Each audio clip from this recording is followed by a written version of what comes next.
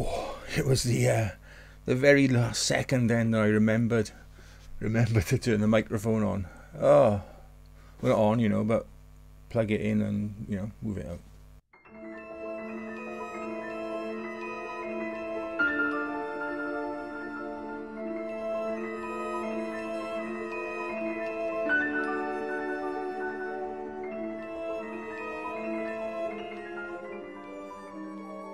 What did I say? During the meanwhilst. During the meanwhilst. No, I No, don't no. like that at all. Well, hello. It is uh, your boy Dexter and me, and um, a, a bit of a different video uh, again this week as I as I struggle to get outdoors to uh, to, to film. A- A while back, I made uh, I made a film uh, about a fountain pen that I that I really really enjoyed, and that was the um, SBRE Brown model. And I'll put a link to that to that video um, uh, upstairs. Um, and uh, I use fountain pens, right? I use them every single day. I write uh, in a journal every day. I've kept a journal now for the last uh, nine years. Um, since my, my diagnosis, I've pretty well written uh, every single day in a journal. And every day I use a different fountain pen. Not, not every single day, obviously, because I'd, I'd have to have like, you know, thousands of pens, but uh, I like I rotate them, you know. So um, I try and write every day with uh, a, a different pen to the previous day. There we are. Put it that way. So um, I thought I'd make a video about my about my personal my personal pen uh, collection. Uh, I got a lot. I've got. Uh, hang on a minute. I have to count them a second. Um, there's. Uh, I should have done this before, shouldn't I? Three, six, eight. There's eleven in there. Twelve then with the um, the SBRE brown pen. There's another twelve in this uh, little case here, so that's twenty-four. And then I, I got a problem. Um, and then uh, in this little bag, then there's another nine. So I've got 33, 33 fountain pens uh, which all right, I have amassed over like uh, almost an adult lifetime of of collecting them. Um, but I figured, you know, it might be int- interesting for me to show you my collection and uh, and talk you through some of my favourites. So I'm going to start with my oldest pen, which is well the oldest pen to me anyway, which is this uh, Waterman Torsard. Now I think Torsard refers to the twisted um, pattern in the stainless steel uh, barrel and cap. Now I bought this pen in 1982 uh, to sit my uh, A level exams with. Uh, so I did those in June of 82. So maybe I bought this in the previous like December or something. But uh, and this is the pen that I used for most of my further education. Um, uh, examinations and you know note taking things like that. I'd always preferred a fountain pen, and I, I explained by in my my SBRE Brown video. It's uh, you know they never run out as long as you got a bottle of ink, ink with you. You've got you know you got a pen. Um, so yeah, this is the pen that saw me through uh, virtually all of my early early examinations. Uh, you know written exams, and then when I started work um, in 1980. When did I start work properly? 1985, 86. Um, 'cause I, was working before that, but I was part time in work and part time in like college. Um, I bought this. Um, I think it was a Parker. Where is it? Is it this one? Yeah, this one here. A Parker 45. Uh, it's a Flighter uh, fountain pen. Lovely pen with a, a shrouded nib and that was the pen that saw me through my earliest, you know, working years. And then latterly, uh, when I got a bit of a more senior position, I figured I needed a posher pen, and I bought this Parker, this Parker Sonnet, uh, which is a really professional, you know, traditional looking stainless steel and gold, but professional looking pen. Um, and whenever I used to, you know, whip this out in a meeting, um, you know, I, I used to get sort of. Uh, we're not admiring glances so much as people when why is he writing with a fountain pen when other people had like you know biros and then uh, even iPads and laptops to take their notes. I was using I was using one of these. Uh, I've also got in this box I got a couple of TWSBIs. Oh, and I got a really interesting pen, which is it's called a Monteverde uh, work pen. And now this is a, a fountain pen, but it's also uh, a ruler, a spirit level, uh, a stylus tip, and then inside the stylus tip you've got a little precision flat bay blade and a crosshead screwdriver. So you know that is uh, I don't use this very much, but it is a novelty uh, little thing uh, to have, you know, and to uh, it's a bit of a you know a bit of a a talking point if I'm you know uh, showing people my pens. Uh, they're also excited when I you know get my pen collection out and show relatives. Oh dear. In um, in this tub here, then I've got a collection of Lamy Safaris.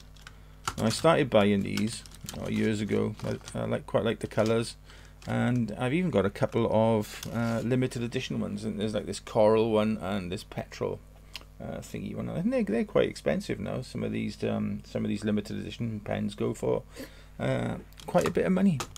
But also in this little uh, tub of miscellany here, I've got um, miscellany, mis miscellany, mis miscellaneous pens. I've got some of my, uh, well, all of my Chinese, my Chinese knockoffs really. So you've got this, this Wing Sung, uh, which is like a, um, a pilot custom, uh, complete knockoff really. You've got this Jinhao, uh, I think it's a Jinhao 992, which is a, a sailor 1911, uh, a complete knockoff. How how they get away with it, I do not know, but there we go, they do and uh, then I got this. This is a Hero. Uh, I can't remember the actual uh, model name, but it is a Parker 51 uh, with you know with like the the hooded nib, uh, full on Parker 51 copy. Again, uh, how do they get away with it? But perhaps most alarmingly is this Mont Blanc Meisterstück. When I mean this Jinhao, uh, what's this? A Jinhao X159, and it's a Meisterstück Montblanc Meisterstück 149 complete knockoff. Um, now this pen cost me, and it's even got a number 8 nib, right? So it's a nice juicy big nib and feed on it. This pen cost me the princely sum of £6.50. Now if I wanted to buy the uh, Mont Blanc equivalent, it, it's going to be at least 50, 100, yeah, 150 times that. 15 times 100, no, hang on, it's 16 yeah, it's going to be about a thousand pound for a Meisterstück, isn't it? So that's a lot more than you know, the six pound fifty that uh, that this cost me. um, obviously, it's not uh, it's not piston fill. You've got like a little blind cap here, but it's you know cartridge converter filled. But all the same, you know, for six pound fifty from a distance, if I put like a little uh, Dauber Tipp-Ex on the on the top there, I'd have a, like a a complete uh, Mont Blanc Meisterstück copy. Now I got my uh, my colourful pen collection then in this pouch, and um, most of these I bought in a shop called Bartrums in Hay-on-Wye. Fantastic shop. It's like a stationer's upstairs where they sell you know all sorts you know like paper and you know um, uh, all sorts of stuff up there. Stationers, you know, it's a stationery shop. Not it doesn't go anywhere. It's a stationery shop, and that it sells you know sells office supplies. But then downstairs, oh, that's terrible. Down, can you hear that sound? That is the sound of of a barrel being scraped. uh, anyway, uh, in this uh, little pouch, then I've got um, three uh, Visconti pens uh, that I really enjoy. Uh, I've got two Visconti Rembrandts and a Visconti Van oh, Van Gogh, Van Gogh, Van Gogh, Van Gogh. Um, I think this is the um, what's this one? I can't remember the name of it now, but they're all named after Van Van Hoff paintings. And um, anyway, yeah, that's that one. Nice, like sort of resin. And then a couple of Rembrandts. Then I think this one's called something like a a star, Starry Night, is it, or whatever? I, am not sure. Oh, that's, no, that is Van Gogh, isn't it? Uh, anyway, this, there's this one, and I got this lovely uh, red and black example then. And these are really nice pens, these um, Visconti pens with like uh, lovely uh, bridge-shaped uh, clips. Then uh, I've got some Conklins. Uh, now Conklin is an old American uh, pen maker, and they went under years ago. But I think somebody then resurrected the brand. And uh, the first one I bought was this uh, All American Yellowstone. Now this is a lovely, lovely looking pen, quite a large pen, but the finish on it is is gorgeous. is is something to behold. And then I got a couple of other Conklins then that I uh, that I bought. Um, and this side, uh, I've got probably my oldest pen, not oldest to me, but my oldest pen, and I think this is a uh, it's a Parker Duofold, and I think it's from the 19 uh, 1960s. Could even be the 1950s? I'm not sure. Um, but this is a lovely pen. This has got um, uh, a proper gold nib on it, so this pen flexes beautifully, and you get some real like line variation in your writing uh, with this pen. It really is a joy, a joy to write with. Uh, this is a limited edition Sheaffer uh, with like um, Ferrari branding on it. Again, really interesting little pen. Um, this is the second one of these. Like the first one I bought wouldn't write. This wouldn't write at all, uh, and I mean at all. You put ink on it, and as soon as that ink uh, dried up from the nib and feed, it would not write. I think the, the the tipping on the nib had been over polished. I think that was the problem, but it wouldn't write at all. So uh, I had to send that back. Um, another Parker Sonnet. Uh, I've got a Lamy. Um, this is one of their aluminium pens, and this is a really nice pen to write with. Probably one of my favourite writing pens.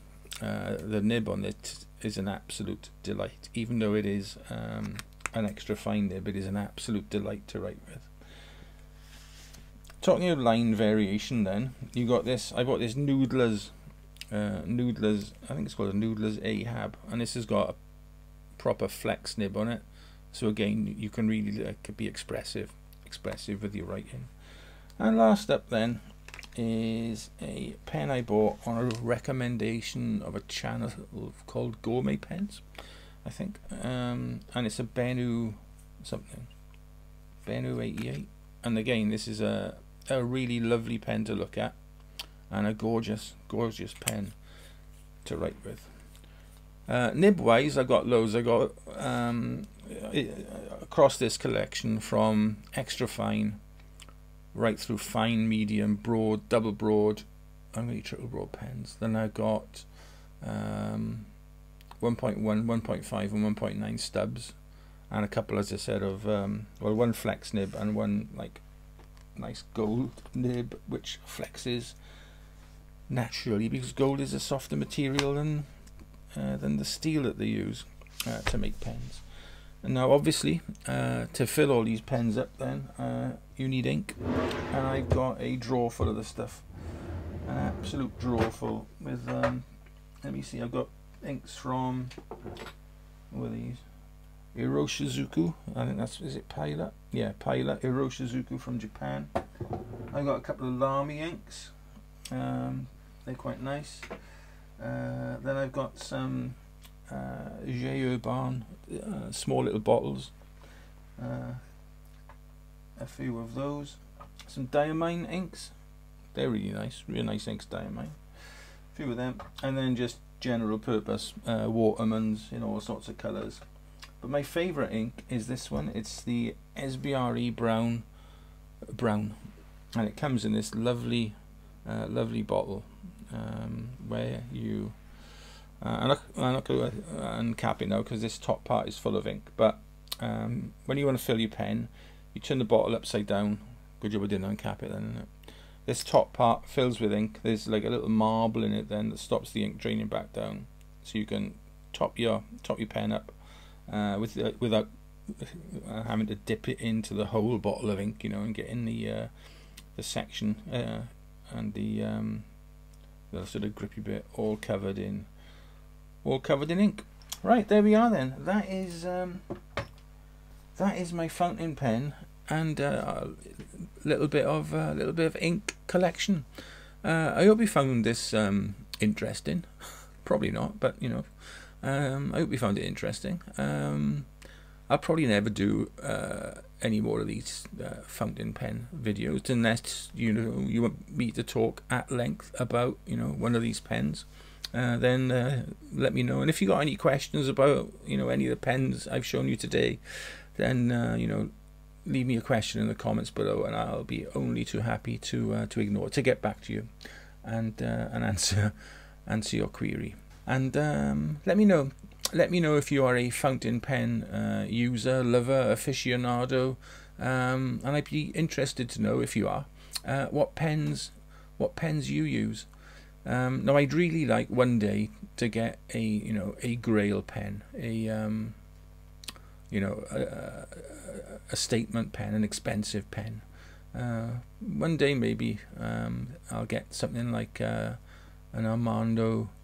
Um, Simoni uh, Arco um, pen, like the gorgeous um, Arco finish or Arco uh, material. Um, something like one of those, or an, or an old Omas um, pen, but um, they don't make them anymore. Uh, they're out of production. I think Omas are out of business even. Um, so yeah, it's a case of you know scouring, uh, scouring eBay and places like that to try and get a hold of one. Um, yeah, one day one day when I've saved up enough, I will buy. Uh, I will buy my Grail pen. Uh, stay safe, stay well. Look after yourselves, your loved ones, your little pets, and just be nice. Okay. Uh, be a nice person, and the world will be nice back to you. All right then. Uh, we'll see you uh, with a more traditional photography-based video uh, next time around. Ta-ra.